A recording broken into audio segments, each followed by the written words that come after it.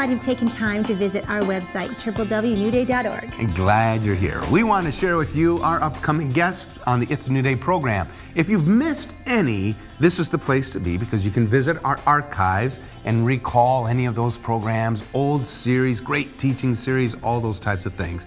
But what we want to do is give you a quick snapshot of what will be happening in the month of April. April is huge here at New Day Ministries. We're starting off with Brenton Brown. He's a worship leader and a songwriter who's written songs that you probably recognize. The Lord reigns, Come Now is the Time to Worship. He, for me, we did three wonderful shows. You loved them. Uh, I loved them. and uh, I encourage you to get his music, view the programs, hear his story, and know the passion behind the music. Then, followed by that, is a new It's a New Day guest. Danny Silk. and uh, his book is entitled Culture of Honor. That's bringing and carrying the presence of Jesus everywhere you go. He's from Bethel Church in Redding, California. You're going to love him. Good. And then one, he's been with us this year, and that is Kevin Leman. A lot of fun, a lot of laughter. That's the 12th and 13th of this month. And we're going to be tackling two books. One is Birth Order, which you're going to really enjoy. Find out things I'm about the baby. yourself. He's Uh-huh. the middle child. And then have a new kid by Friday. that comes in handy. It does. and also we have Anthony Greco coming. He's a great friend of ours. He's talking about the Holy Spirit. You're going to love him. a pastor friend from the Calgary area. Great three program series I- on the Holy Spirit. And after that comes Chuck Pierce, Mm. and he's talking about the rewards of simplicity. I want some simplicity in my life. I'm sure you do too. Chuck is an international uh, speaker, a, a prophet to the nations.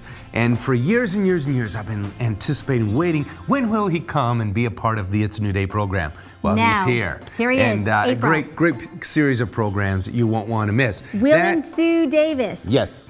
They're talking about praying Pray big. big. Pray big. Audrey and I had the opportunity of recently of ministering in their church in San Antonio, Texas. Austin. Austin, Texas. Austin, Austin, Texas, San Antonio. awesome. Yeah, it was. Yeah, uh, in Austin, Texas, and they're, they're such a wonderful couple They doing really a are. great work there. Honored to have them on our program. And after that, Bob and I are going to be the guests on April 26th and 27th.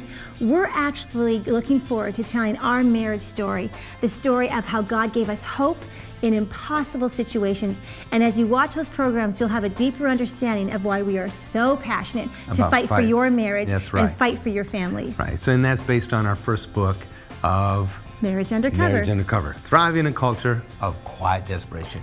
Then we're going to conclude the month with Brad Jersak. Love Brad. Yeah, he's been a real gift to our ministry for many years. And he's writing the book Kissing the Leper, and you're going to find out a new way to love what we would classify as the least of these and find out what it means to be the servant of all. It's a great month. Take time to explore this website. You know, look around, click around.